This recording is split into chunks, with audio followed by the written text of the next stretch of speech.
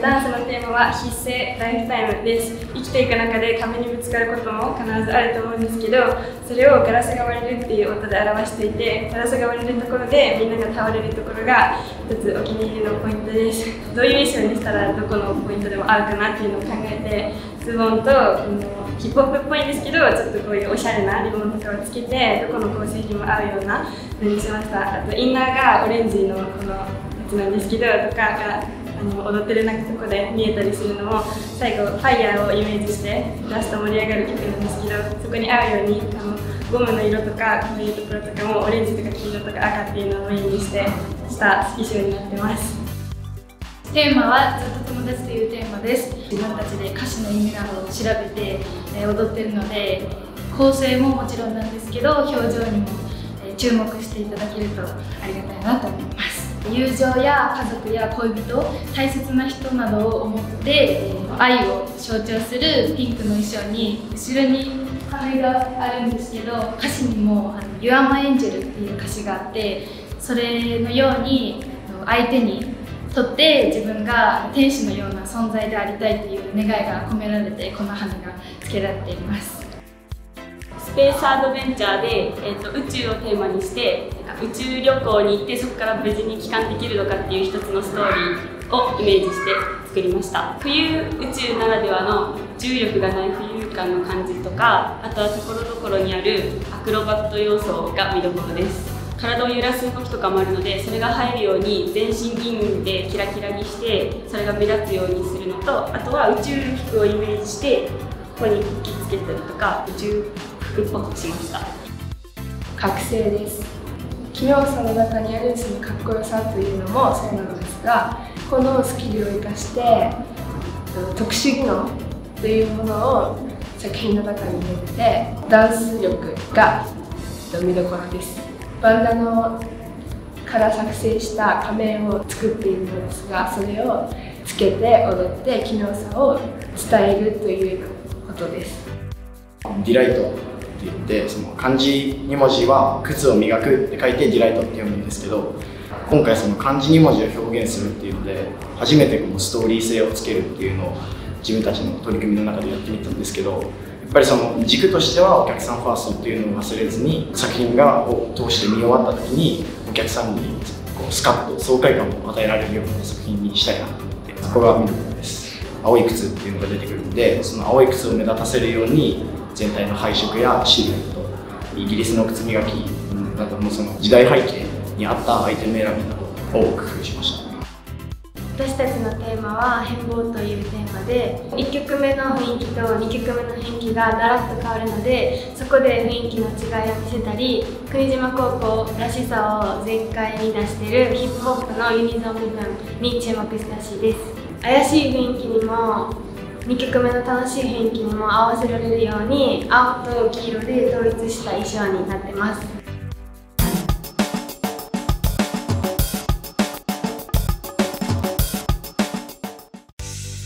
オートマタです。人工知能ロボットオートマタをテーマにした作品です。表情は無表情なんですけど目線とか鋭い目線や構成などを使って表情の変化や構成の移り変わりをみんなにあの見ていただきたいです。ロボット機械を表しているので黒とシルバーで全身を統一してちらっと見えるこのスカートなどがポイントです。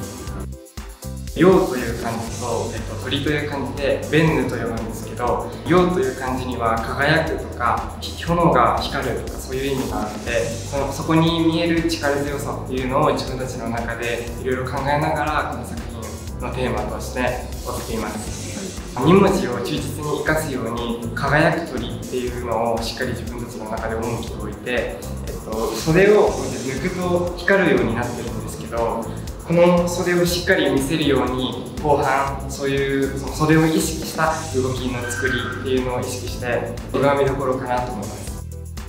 革命と書いてウェーブと言います。サビで力強くかかってこいよと言っているのですがそこで私たちの原動力になりたいという気持ちを大きく表現しています。悪い流れや理不尽さを表現してこの花を自分たちに置き換えて変えていくというのを表現していてメイクでは右目の方下に涙を流していて人の弱さや傷つけられたという弱いところを見せつつも目の上では真っ赤で力強さを表現しています。テーマはホワイトタイガーで